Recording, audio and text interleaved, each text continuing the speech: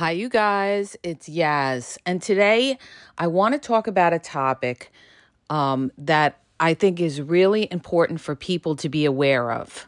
We always talk about dating, we talk about relationships, we talk about, you know, why did they lose interest and everything like that. But one of the things that you really have to be aware of is if you are in a controlling relationship, okay?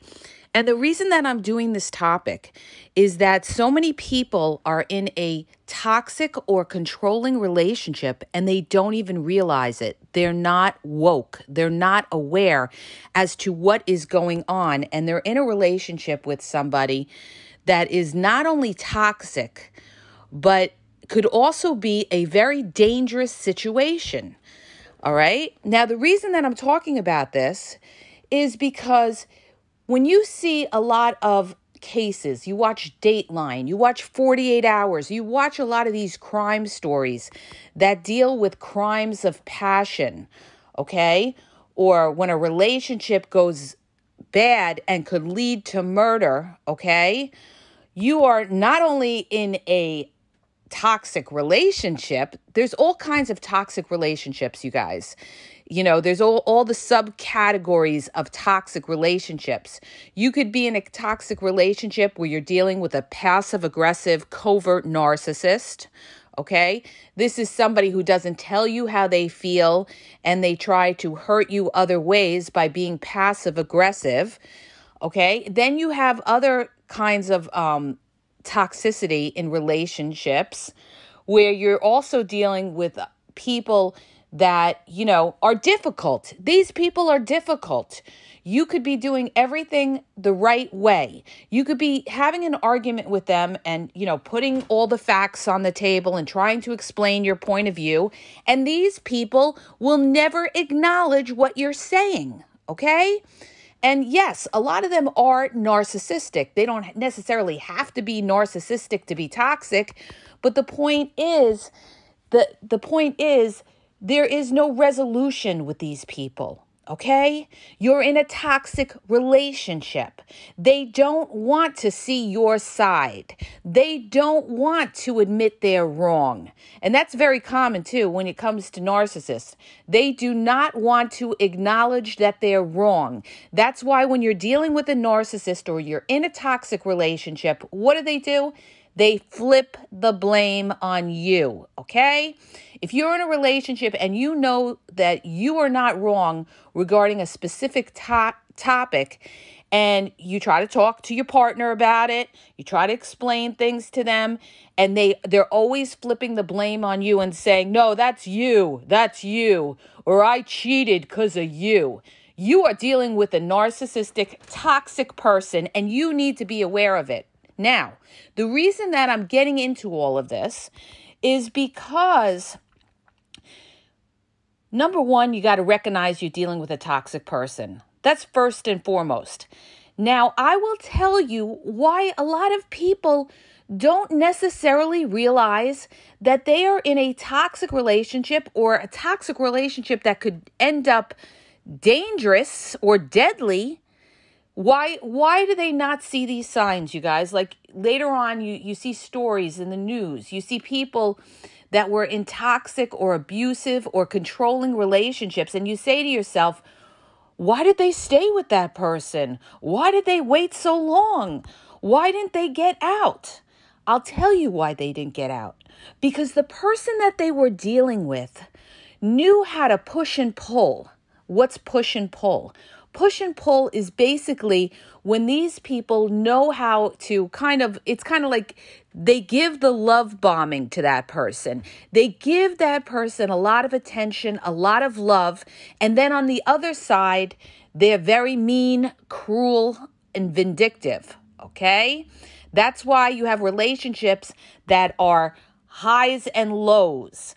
When sometimes I've had people come to me, they've had relationships where the person was the most loving, wonderful person in the world, loving, most wonderful person in the world, and the next day the person could be cruel as anything, okay? Even getting physical with that person.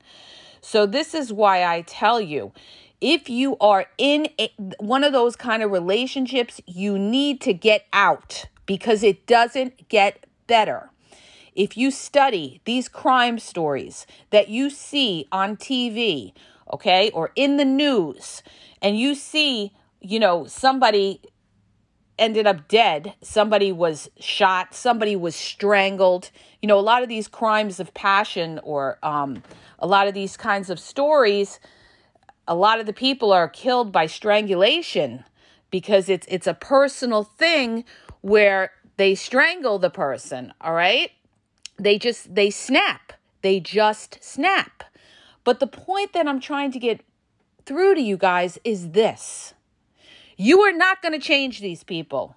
Let me say it again, all right? You are not going to change these people. And if you are in that type of relationship, you need to get out. Get out all right? And stop making excuses for that person. And I don't care if that person comes to you the next day and is loving and caring and, and showing you, love bombing you and showing you all this affection and saying they're sorry. I don't care. That, that person has potential to really hurt you, and you need to recognize it and get out of that relationship. But here's the thing that you guys have to understand, and you have to realize this, all right? Because this is so important. This is so important in so many relationships that have ended up where some person got killed in the relationship. When you're you recognize, number 1 is recognizing you're in that toxic relationship, and number 2 is knowing how to get out of that toxic relationship.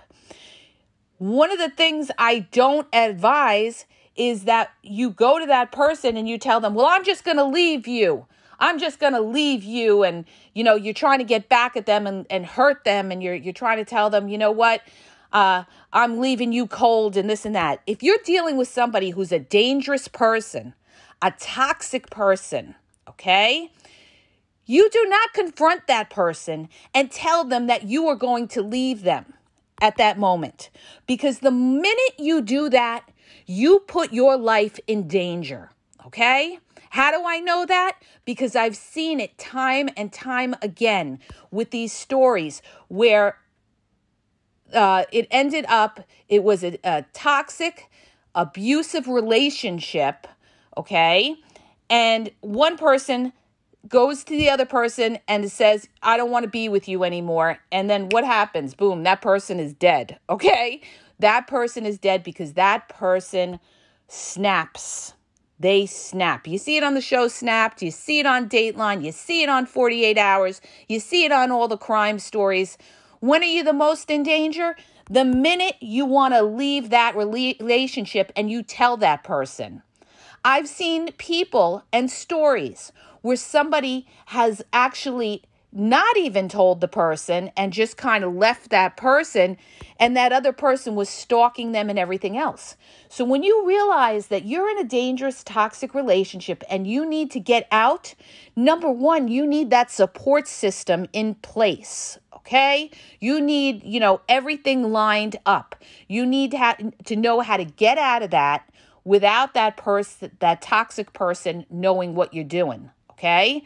That means having other people there to support you and have your back and and any, you know, everything else in line as well. If you need to contact the police or whatever and make people aware of what's going on for your own safety and do whatever you have to do for your own safety, okay? And get out and once you're in a safe place, then, you know, then you could broach the topic and just let that person know listen this isn't working out whatever. But that's when you're in a safe place. You're away from that person. That person can't get to you all right? You have to be sure that that person can't get to you all right?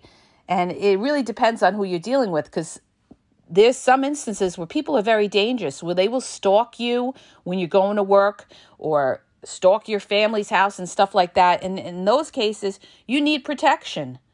You need protection. But the, the point I want to get back to is this recognizing that you are in a toxic relationship, you guys. Now, this is something that I need to bring up. This is something that I would tell my own daughter, okay? Or my sons because you could be in a toxic relationships. Men men have been in toxic relationships as well where they've dealt with women that were, you know, very possessive, very controlling, stalked them, all right? And and have murdered them as well. So the the point is this, you guys. Number 1, you have to recognize it. You have to stop making excuses for these people. There's boundaries involved. This is why we talk about boundaries in relationships all the time. There's different boundaries that people cross. And if you don't check that person in the very beginning, it keeps getting worse because people will test you and push your boundaries. So what do I mean by this? What do I mean by this? That what I mean by this is first of all, let's say you're in a relationship and the person says to you something to the effect of, "Oh, well, okay, you bitch," or something along those lines. Okay? So now you know that they're they're they're using profanity and they're calling you names, right? Now you know that, you know what? You have to check that person right then and right there that they are not to talk to you like that. And if they do it again, you have to leave. You have to leave. Now, the other thing that I want to bring up to you is this if you're in a relationship that is toxic, that is turning from emotional abuse into physical abuse. Now, physical abuse can start with anything. It can start with a little push, it could start with a little sh- uh, shove, it could start with a slap across the face or a scratch. If you deal with anything like that, you've got to get out. There is no walking back to that because that is how it starts. That is how the physical abuse starts. You are dealing with somebody who does not have control. Okay? You are dealing with someone who has no control if they have to get physical with you. I don't care what you say to them.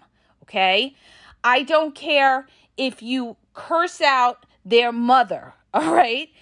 If somebody puts their hand on you, puts their hand on you in any way, shape, or form, you have to get out of that relationship, okay? Because if you don't, the next time is going to be something worse because you stayed for for the first incident of abuse that turned physical.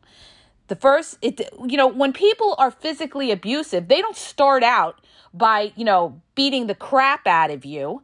They start out small. What do I mean by small? They may push you, they may shove you, they may slap you. That's what I mean by they start or poke you or something like that, all right? They don't start out when you're in an abusive relationship, you know, the first time beating the crap out of you. Why? Because they're testing you to see how far they can get with you. That's why I tell you, you check people from the beginning. And if you're dealing with somebody that's very abusive, or has the potential for violence, you need to get out of there. Because if you don't get out of there, you're going to deal with much worse down the road. Because this person is going to feel more and more confident that they could get away with it. All right and and it's going to progress and be even worse. The other thing that you have to look at you guys is you have to look at that person's childhood, how they were raised, okay? Did they grow up in a violent household? It doesn't necessarily mean that people that grow up in violent households end up being violent, but you have to see what have they learned? What do they know? How do they view relationships? Are you dealing with somebody who has no problem putting their hands on you. Okay? How did their parents treat each other? Is this what they saw growing up? Okay? And people could go either way. They could either become like their parents if their parents were in a violent relationship, or they could say, I will never be like that. Okay? I will never put my hand on a woman because I saw what my mother went through, or something like that. So that's why I always, you know, in my podcast, I try to educate and teach people basically how to understand human beings, all right? Whether it's male or female, understanding people. People are complex. It's not that simple, All right? That's why people get in relationships and they they end up being in violent relationships or toxic relationships or something like that and they say to themselves, "How the hell did I get into this position?" Well, why did you get in that position? Because you didn't study the person. You did not know who you were dealing with. You didn't recognize that that person was toxic or dangerous or something along those lines. And we see it again and again. All right. We see it in the sense that, you know, what's going on in current events. All right. Like, for instance, in this current event with, with the Long Island girl, Gabby Petito, she was in a toxic relationship. Why is it a toxic relationship? Because they got physical. They got physical. There are reports that he was slapping her you know, and she was also hitting him back as well. At that point, that girl should have been separated and sent back home to her family, okay? But what do we have now? We have a situation where the girl is now dead. Now, we are not accusing her boyfriend because innocent until proven guilty, all right? But it doesn't look good for somebody that is, you know, running away and on the lam here and and this is just very typical of a lot of cases out there okay the point i'm trying to make is this the minute the minute you find that you're in one of these relationships you guys and you there's any form any form of any kind of physical altercation you have got to leave that person you have got to leave that person. Now, other people will disagree with me. And I will say to you this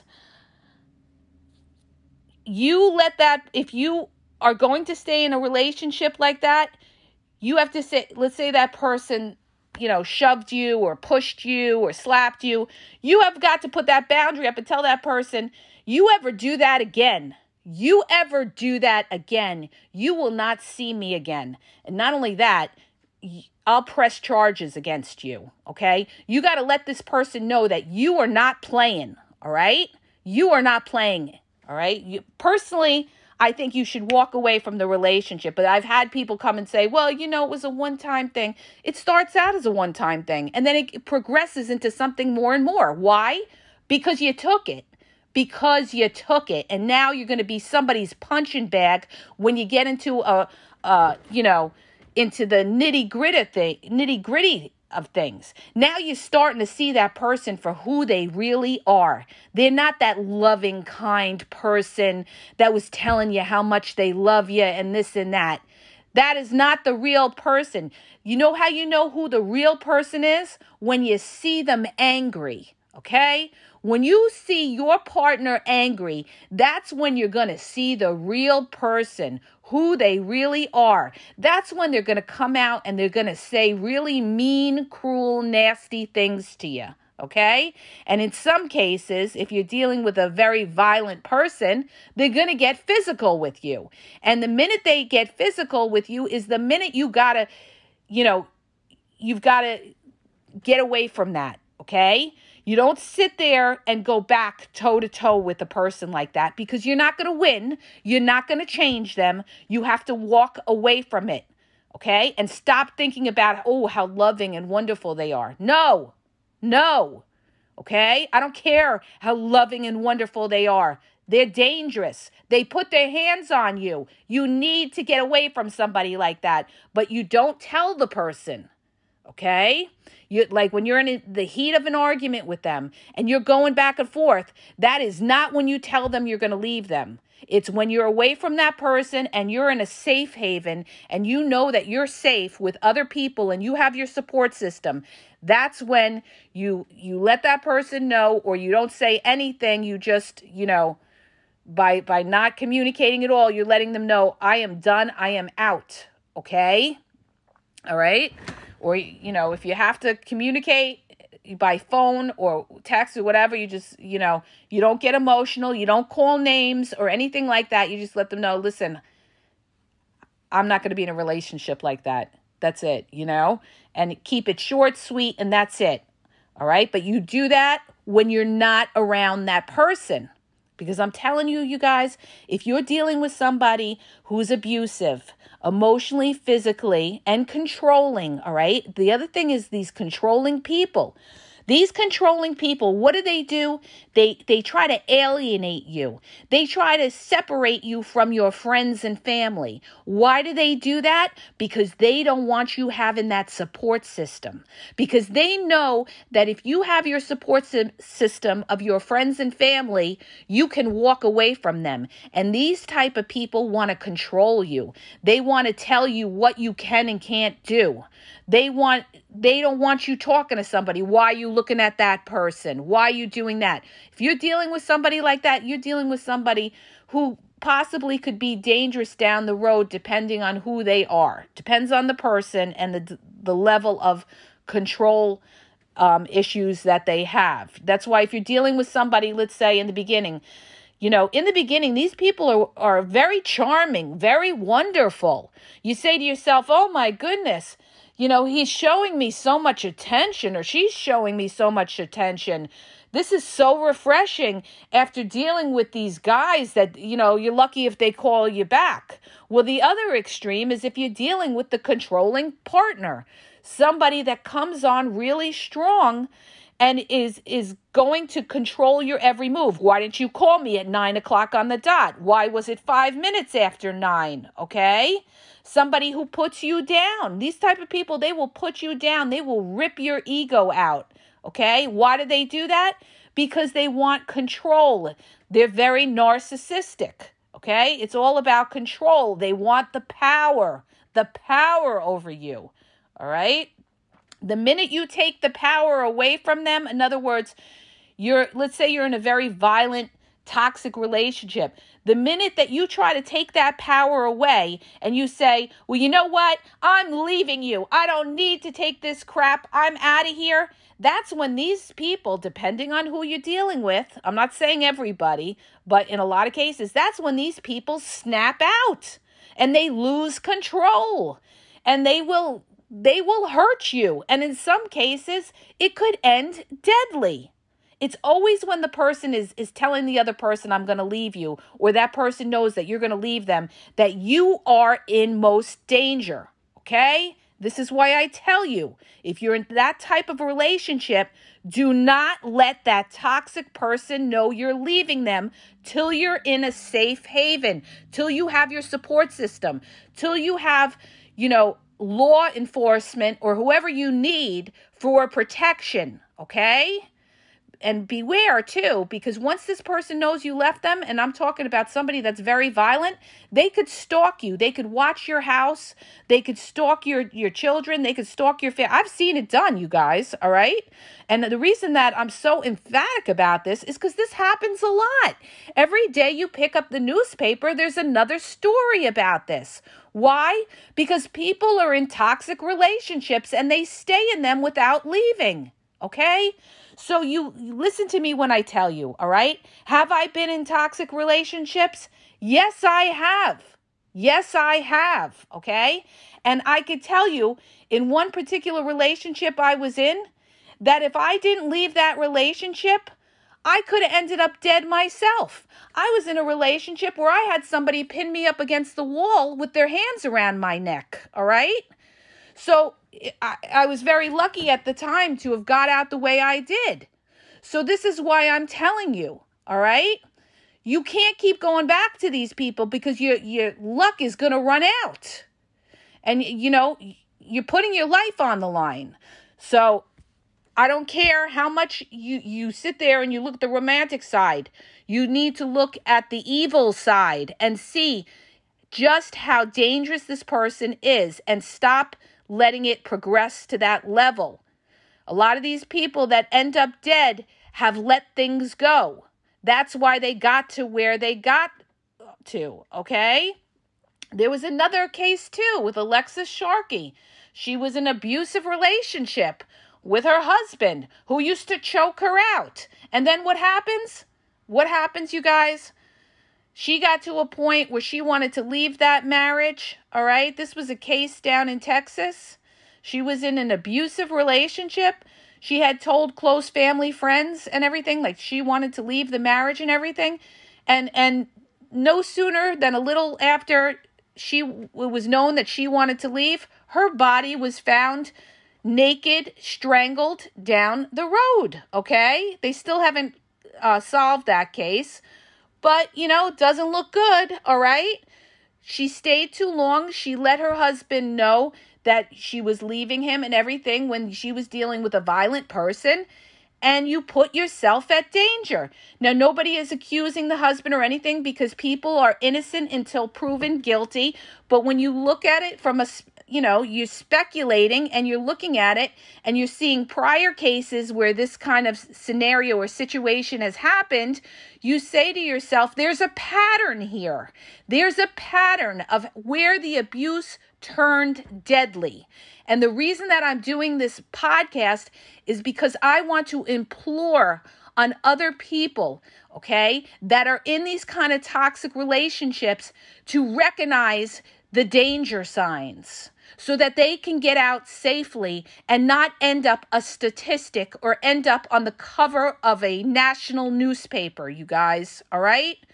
This is why I'm telling you recognize toxicity in relationships, recognize people that are toxic. A toxic person will always make you feel like crap. All right. How does the person that you're with make you feel? But the, the reason that you know, these people, you don't recognize them all the time, is because when they're good, they're really good, okay? And they're loving and everything like that. Like I had a girlfriend, she was in a very, very toxic relationship. This guy was so, so loving, but this guy also had an evil, wicked side, okay? Like she would see him like on a Friday night and they would spend the night together. He'd be loving and everything like that. You know, they had wonderful sex and he was loving her and telling her how much he loved her. And then the next day at five o'clock in the morning, he's flipping on the bed with his hands around her neck, asking her who she's texting or who's who's, you know, who she's talking to or accusing her of cheating because he was a paranoid nut. All right? That's the true him, all right? And that's a relationship that she should have got out of, all right? She finally did get out of that relationship, but it took her a couple of tries to really see just how dangerous this guy could be, all right? So remember, if you're going to leave a relationship like that, do not tell the other person you're leaving, okay? Get to your safe haven your get your support system in order without that other person knowing, okay? Because they will try to stop you and they will get mad and they will try to hurt you if they're very abusive. I have to bring this this stuff up, you guys, because there's a lot of people, a lot of young girls, doesn't necessarily have to be young girls, it could be older, okay, that are dealing in relationships or even some guys that have abusive girlfriends and wives as well that could be very dangerous that, you know, flip out the minute they're going to leave them and pick up a gun and shoot the guy, okay? You have to be aware of the person that you're with, their, their potential for what they could do to you. That's why you got to look at those red flags. And when people cross a certain boundary, all right, you guys, you know, whether it's a slap, a push, a shove, you have to get out of there. You have to get out of there, okay? I had a situation when I was in my early 20s, when I was dating this guy, okay? We went out on a date. Um, I was going uh, to happy hour with the people that I worked with. Back then, I was working in the financial district, and everybody went to the New York seaport, right? And he was supposed to meet me afterwards. He met me because he was um, he was from Brooklyn or whatever, and you know I was living in the city. So he met me afterwards, and he was a very controlling type of person. And we got into an argument, and he's like, Why did you have to meet your friends after work and everything like that? I don't know why you couldn't. So we got into it a little bit. And what does he do? What does he do? He pushed me where I fell back. Okay. This is on the street, New York City. He got mad and he did like one of those quick pushes in the front, you know, uh, the the top of you know right under my neck like you know, to push somebody down, like a quick push. And it just happens like I went back and I've, you know, fell on my ass or whatever. But I mean, he didn't push me that hard that he hurt me, but he pushed me. Okay. The bottom line is he pushed me. All right. He pushed me to a point where I stepped back and fell back. Okay. And then I said to myself after that, because I've seen abusive relationships all through my life, I said to myself, he's done. He's done. He's done. He's got to go. All right. This guy has got to go. All right. Because this is the onset of what will, this is the beginning. All right. Starts with a slap starts with a shove. The next thing you know, somebody's going to break your nose. The next thing you know, you could end up dead. And this actually happened to a girlfriend of mine when she was dealing with a very violent guy, okay? The first time he put over a hundred stitches in her head by smashing her head on a glass table, uh, and told her, and he told her, if you tell anybody in the hospital, I will kill you and kill your daughter, okay? And she didn't say anything. She was fearing for her life and you know, she was not able to get away from him.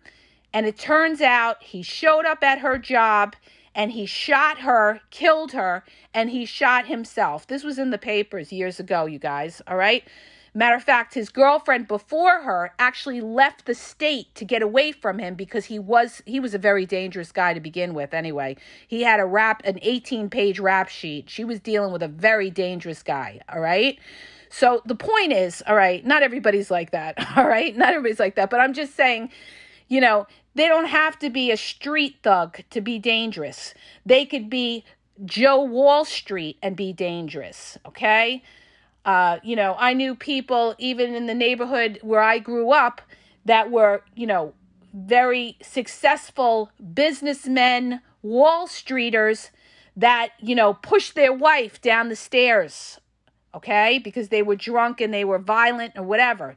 So you can't say it has, you know, it's, you know, a socioeconomic thing as to whether somebody's going to be violent because it happens in all different levels okay, of economic classes. So, but you have to be aware of this, you guys. You have to be aware of this. You know, um, you know, my my family, my mother had friends as well, you know, when she was a young couple growing up in the suburbs of New York, one of her friends, her husband was very successful Wall Street guy, and, you know, she was like a trophy wife at the time, and he put a gun to her head. He didn't kill her, but he put a gun to her head. So, this is, you know, this is the kind of shit that happens in real life, you guys. So, if you find that you're in one of these kind of relationships, all right, that could be violent or something like that, you got to nip it in the butt in the very beginning. A slap, a push, a shove, any anybody touches you, Get out of there. There, there are no second chances. There are no second chances. All right? Listen to me when I tell you. All right? and and don't let these people fool you and come back and start crying uh but i love you it'll never happen again it'll never it'll happen again you guys it'll happen again all right believe me when i tell you because i've seen it in other people's relationships it will happen again so I hope that helps you guys recognize those red flags. You know, somebody crosses your boundary, you got to check them in the beginning. Do not let something go. Stop giving too many chances. All right? The people that give all these chances are the people that end up in a bad place. All right? You want to give somebody a chance? All right? You give them one chance if they cross your boundaries. One chance. That's it. They break that one chance, they got to go. All right? Because that's their basic pattern and that's what you're going to see, all right? And if you don't, if you don't if you don't cut it, then you will have to, then you did it to yourself. Sorry to say it, you did it to yourself. You got to walk away, you guys. All right? So I hope that helps you. If it did, please hit the subscribe button and share, and please share with your friends, okay? Awareness is key. If you have a friend that is in an abusive or toxic relationship, share the podcast with them, please, and make them aware. You could save somebody's life, all right? So I hope that helps you. Please share it, okay? Have a great day, guys. Audible is offering listeners a 30 day trial. Doesn't cost you anything, it's free 30 day trial. You get to select any book that you want on there and listen to it. They have books on there about breadcrumbing, love bombing, why did they lose interest, dating, relationship, any kind of book you're interested in and want to learn about, okay? You could listen to it in your car or if you're on the bus or the train. So go to my podcast description for the link at tinyurl.com backslash ask Yaz now and start your free trial.